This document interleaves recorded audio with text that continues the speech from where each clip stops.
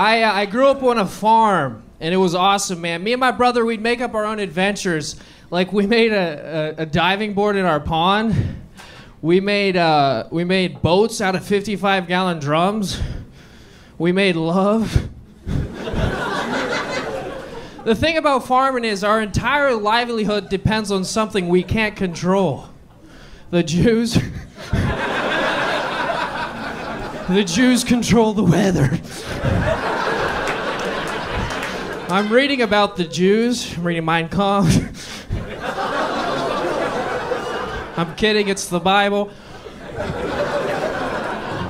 Actually, I'm listening to the audio versions because I'm still trying to learn how to read. And, and it's the King James version. So it's narrated by LeBron James.